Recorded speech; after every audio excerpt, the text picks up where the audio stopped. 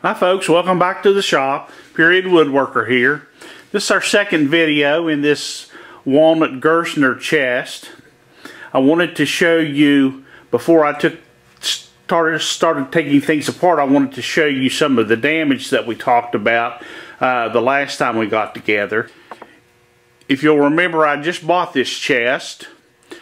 I have several other Gerstners, but I didn't have one this large or really I didn't have one in this good a quality because I've always bought used chests and I don't buy the new ones very often. This is, I'll show you,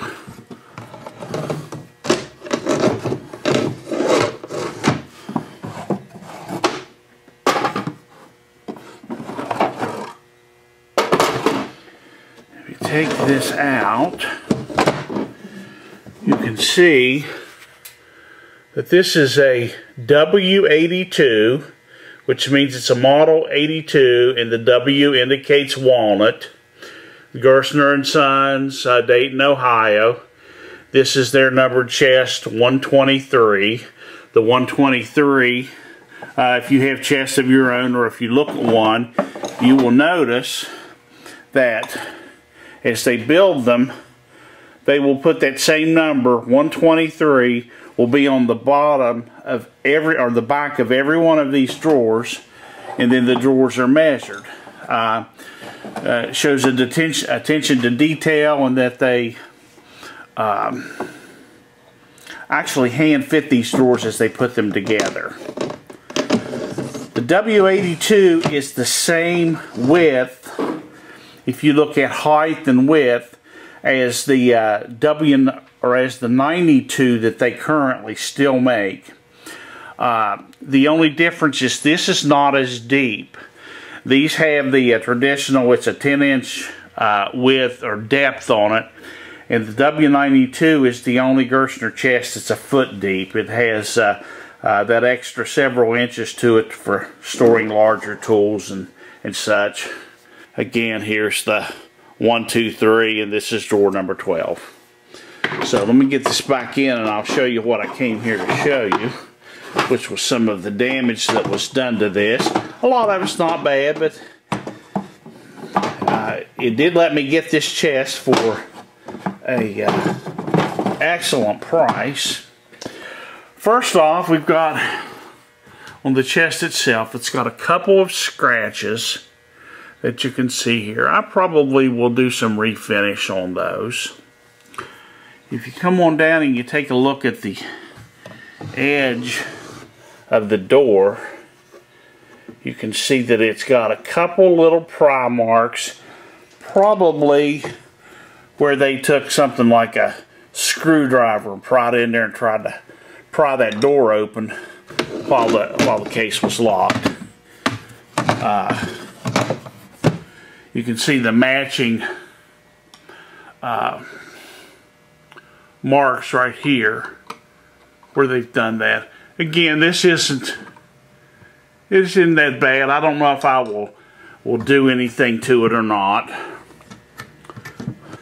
The bottom chest you can see that it also had an attempt to pry it open right here. That's not too bad. Um, then there's a little pry right. I don't know if they really tried it right there, but uh, it's a little bit of damage.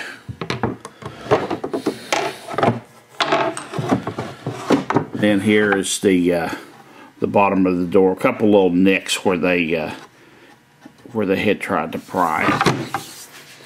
The bad part now is the compartment that, that held this little drawer or door or whatever it is. This is the damage that they did to this locked door. And you can see it's pretty substantial. They really pried heavily on it. And, uh, you know, I'm sure they stuck a screwdriver or something in here and tried to pry this door But I tell you, I guess it's a testament to the quality of the Gerstner locks. They were never able to get it open. You can see the lock in there. And when I first got this, it was like this.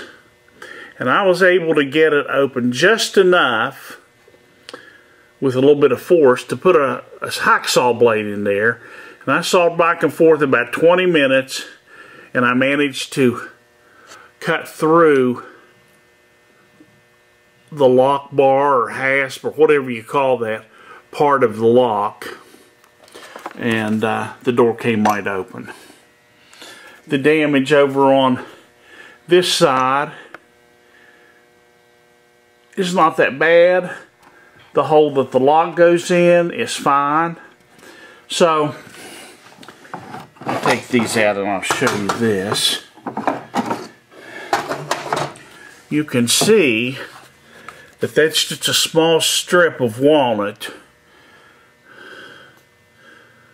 glued to the secondary wood. So I'm going to cut that off. It's too bad to try to replace. It would really look hacked up. And uh, I'll be real careful and chisel this out of this little dado. Now I'll replace that piece of walnut. I'll order a new lock and replace it. And the door, I haven't decided about the door. From the outside you can see no damage. So if I took this and cut this at a 45 degree angle and cut off all that, I probably would just hand plane it. And regardless of what I do, I probably will try that first. And if I get that off, then I could glue a, sliver of wood on there.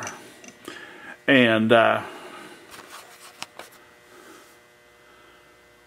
then plane it off so it's flush and, and matches and, and uh, put some uh, finish on it. If that works fine, then that's probably what I'll do because that would allow the rest of the finish to continue to match. If not, then this will be relatively easy to replace this door. It just has like a little piano hinge in here. And I'll take that door off and replace it. So, as for the rest of it, uh, the, the case is in excellent shape, very little use. All of the hardware is good. It's still shiny. Uh, the feet are good. The feet on the case itself and this riser case. It really is an excellent chest on a, on a W82 that they no longer make. You can't buy this. You can buy the uh, the model that's equal to the 52, which is a little smaller, uh, or the 92, which is this size but it's deeper. And uh, if you get that and the riser and a walnut brand new, you're talking several thousand dollars, close to three thousand dollars. Um, I got this for much less than than that. And uh, I mean, it was almost a steal as long as I can put up with some of these little scratches and things. And my others have some scratches. So the next time I come back, I'll uh, I'll take this stuff off. We'll start working on it, and we'll we'll replace the uh, the damaged section to this door. And uh, oh, let me show you one other thing before you go. This has the old style, it came with some old style dividers. And these are the kind that have, if I can get it to focus, the little bullet catch in the end. And you can't buy these anymore. You have to buy ones where it has a rack that goes on the front and back and they slide down in, in shelves. These, the reason that these are so nice is you can take these, put that bullet catch in, push it in, and then put that in there, and that's, it's in there for the long haul. It's not going to go anywhere. Makes nice dividers. So what I may do, and I may make this part of this video, I may just make me some strips of walnut. Anybody at the little wood shop can make strips of walnut.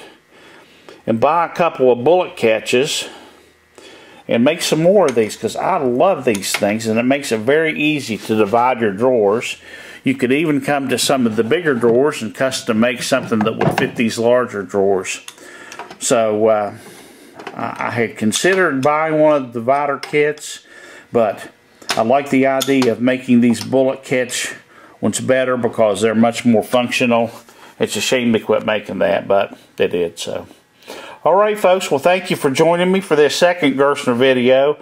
We'll finish up with the last one and uh, uh, do these repairs and I hope you come back and see me. Thanks for joining me. Period Woodworker here. So long.